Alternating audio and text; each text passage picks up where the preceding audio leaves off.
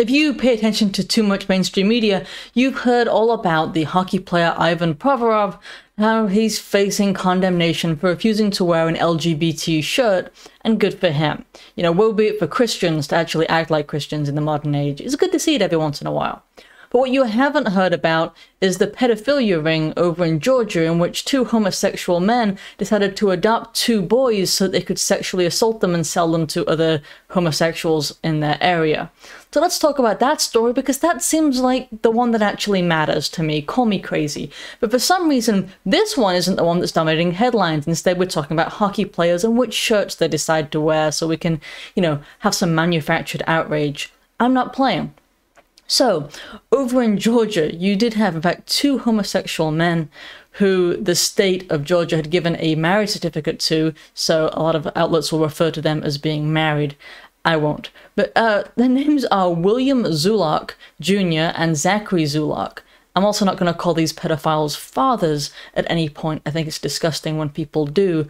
They did adopt two young boys, now aged 9 and 11. They did so out of an adoption agency called All God's Children. So it was a Christian adoption agency, despite the fact that they uh, dealt with homosexual men and lend, lended them children. But this adoption agency, which no longer exists, it specialized in housing special needs cases, as they put it. So more difficult cases where you've got siblings involved, uh, those with behavioral problems, uh, some kind of, I hate to use the term baggage, but baggage, um, in this particular instance of these two boys, they were brothers, and their biological parents were heroin addicts, and the older boy apparently had some kind of behavioral difficulty at some point. Now, this adoption agency, you know, got its children through the, the Georgia Department of Human Services.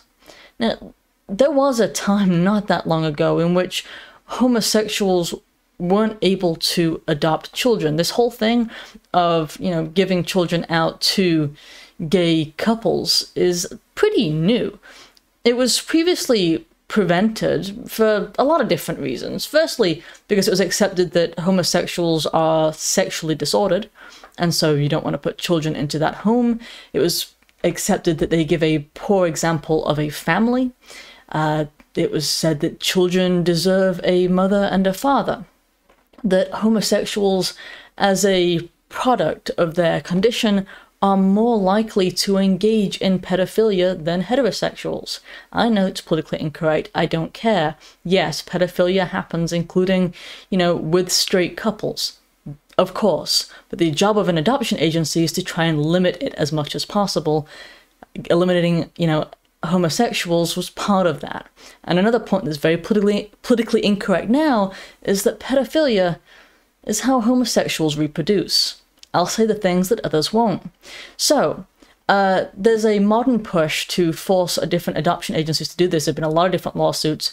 Uh, some adoption agencies have even shut down to avoid doing this. Uh, I know some Catholic agencies in certain states have been forced to shut down because the alternative was uh, to do this, to, to house children in same sex households, and they would play no part in such an evil. So, looking at this particular case, though, seven years prior to this adoption, uh, one of the men, Zachary, was accused of being a child rapist, but was never charged. He had allegedly lured a 14 year old boy to a home, had anal sex with the underage boy, and no charges were filed. So there's there's a lot wrong here. You would think this would be a scandal all over the news, and yet it's not. That adoption agency, by the way, it was dissolved in October 2022. Uh, they say due to a lack of funding. Uh, we don't know the real reason, but in any case, that's what they that's what they say. So it's no longer in the care of children. If we can say that there was some care involved, I don't know. Now, um, these two men, William and Zachary, have been indicted by a grand jury on the charges of incest, aggravated sodomy, aggravated child molestation, felony sexual exploitation of children, and felony prostitution of a minor. See, not only did they adopt these children and sexually abuse them, they also made child pornography using these children, who they outrageously referred to as their sons, online, and then sold that to others. Then they tried to sell these children to other men that they met online. The um, the boy that just turned 11, so the older boy, suffered injuries as a result of being raped uh, by uh, by one of these men. William and Zachary, these men, were huge in the LGBT media.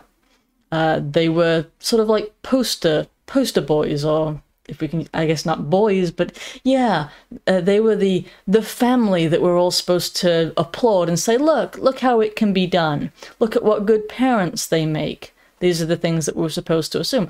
They marched these two men in the Atlanta Pride Parade and the AIDS Walk Atlanta. Zachary Zulock was a devoted supporter of Black Lives Matter. Are you beginning to see why this isn't all over the, the news and instead we're talking about hockey players? They had pride garbage all over their home, including on the doorstep, just so you know, because they identify themselves sort of primarily, their entire identity is based around them being homosexual. Now, they have a very oversized home. It's unknown exactly where they got their money from because both of them work in careers that have a a, revenue or should have a revenue that's under $100,000 a year. Their home is not reflective of that. So it might have something to do with them selling or sexually exploiting uh, their children.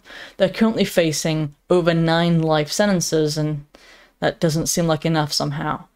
They're accused of prostituting the children to at least two other men that we that we know of and who have been arrested. So there's Hunter Lawless is one of these men, and Luis uh, Viz- Vizcarro Sanchez. That's my best pronunciation. Um, they also, these uh, Hunter and Louise apparently also received pornography from the two men who were pretending to be fathers. Um, one of these who had adopted the, the child, Zachary, texted Hunter Lawless on Snapchat with, I'm going to censor this, it says, I'm going to sleep with my son tonight, stand by.